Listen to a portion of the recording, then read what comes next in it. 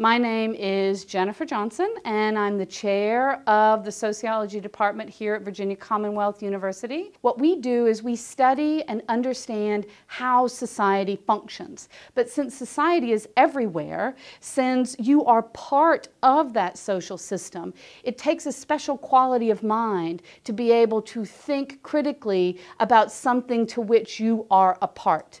But as you guys know, sociology is a discipline that is applicable beyond academia. So I'm here to tell you guys today about our new online master's option in sociology at VCU.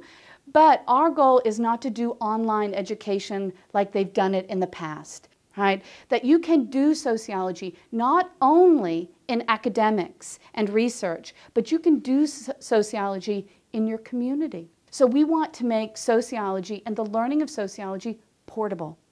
So the idea of the applied option, moving the applied option online, is not to simply take students from the class and move them out of the class.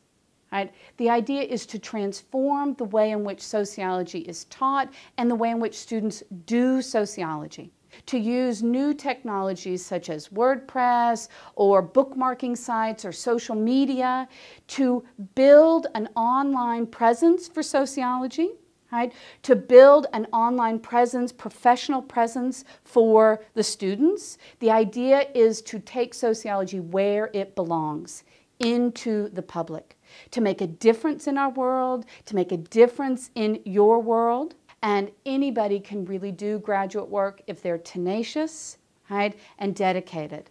Beyond that, it's just a hell of a lot of fun. We talk theory, then we try to solve the world's problems. I can think of nothing cooler.